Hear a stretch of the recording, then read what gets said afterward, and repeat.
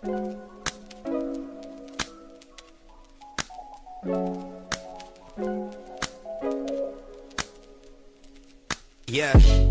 Take a minute to count your blessings.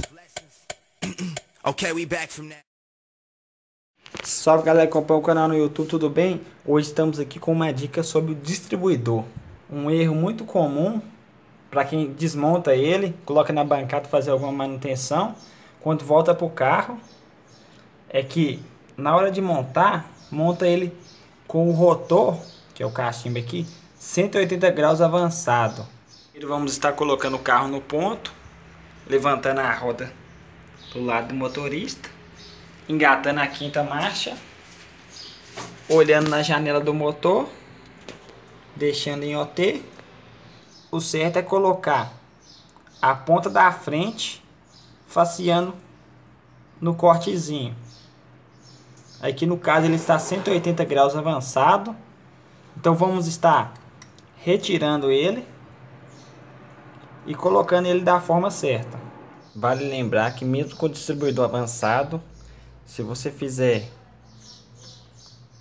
a sequência correta de cabos no ponto morto superior do primeiro cilindro, ele vai funcionar.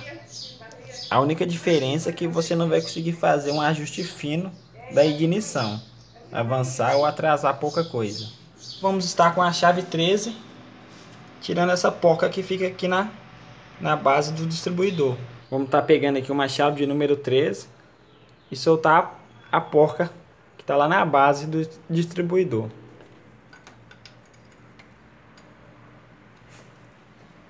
Vamos estar com a chave 13 tirando a porca aqui da base.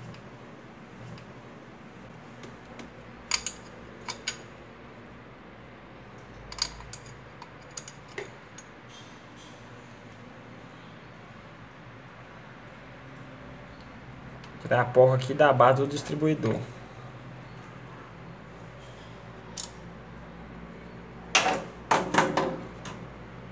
Vamos estar tirando o calço aqui, que, que prende o distribuidor.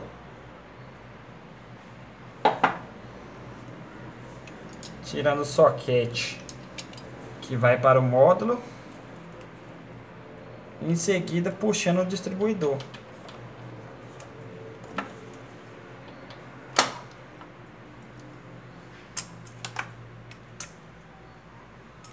Como percebemos, aqui está o suporte que segura o distribuidor para ele não avançar. E aqui está o distribuidor em nossa mão. Aí no caso vamos estar colocando ele da mesma forma, porém rodando o rotor em 180 graus. Como podemos ver o distribuidor aqui, vamos estar girando ele em 180 graus. E assim Podemos ver que ele está faceando com o cortezinho aqui, olhando bem de cima. E vamos estar voltando ele para o local. Vale lembrar, antes de colocar no lugar, que na ponta do eixo dele tem um rasgo. Então ele vai se encaixar somente de duas formas. Que são 180 graus diferentes uma da outra. Como podemos ver, esse pino é onde que vem encaixado a ponta do eixo do distribuidor. Então só tem duas maneiras de ser encaixado.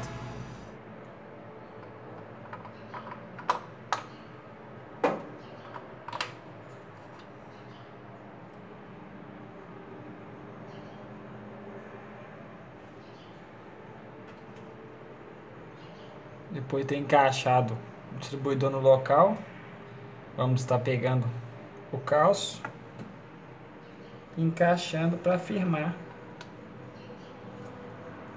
ele no local.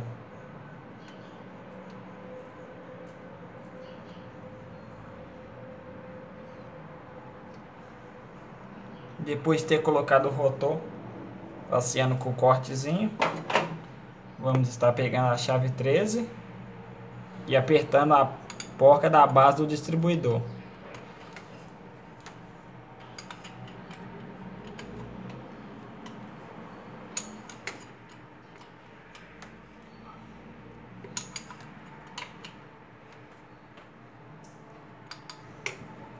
Em seguida vamos estar encaixando a mangueirinha de vácuo.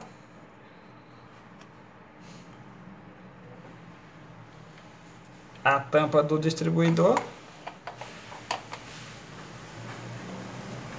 E por final o soquete dos fios que vem lá do módulo.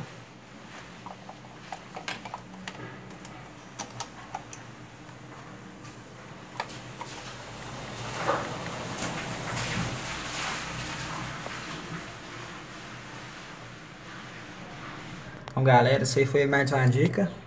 Peço que me ajude deixando like, se inscrevendo no canal. Poder estar tá trazendo novos vídeos aí.